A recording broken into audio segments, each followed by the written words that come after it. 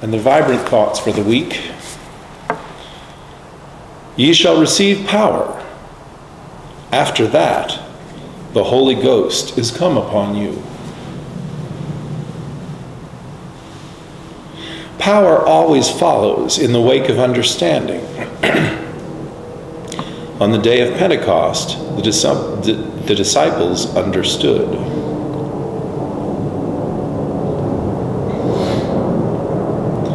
The power of God awaits all who accept God with understanding.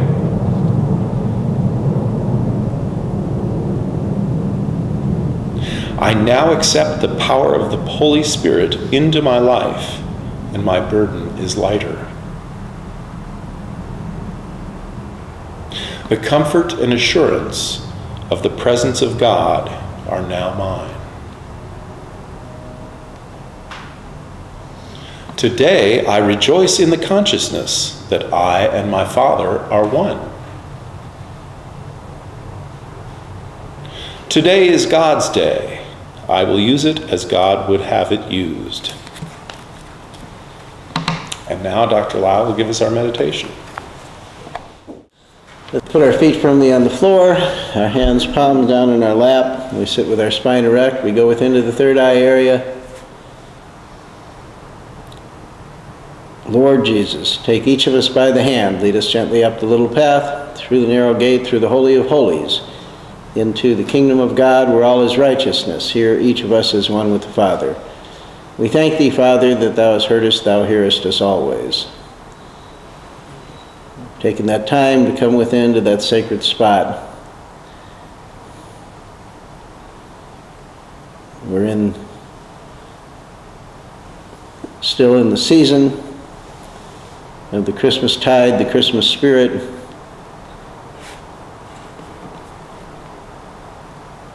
So take a moment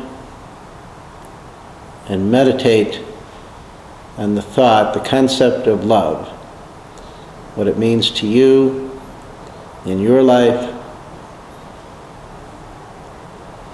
how it can have greater meaning for you throughout this new year.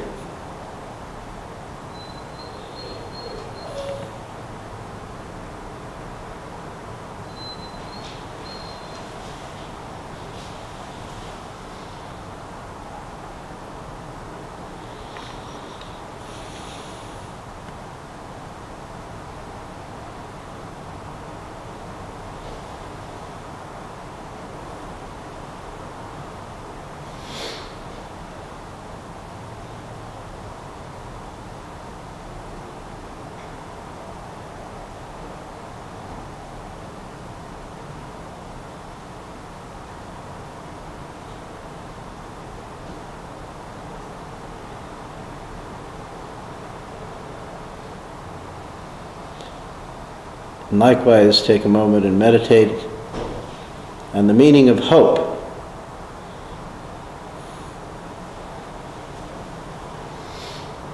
How it can be used and can be beneficial in your life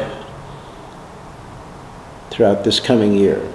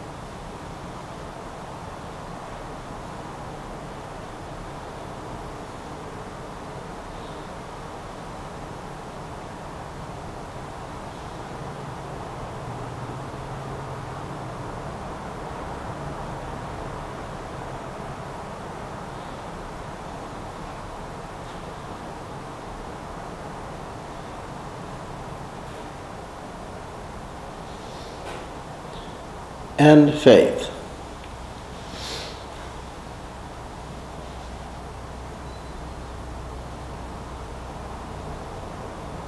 Allow your thoughts to dwell on faith.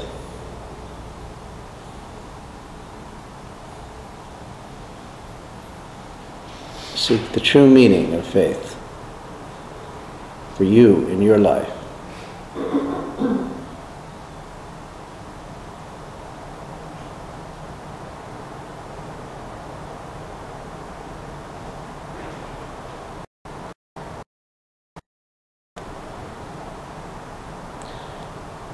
And we thank thee, Lord Jesus, for leading us in the way of the truth that frees the perfect love that casteth out fear, the peace which passes all understanding, and the way of eternal life.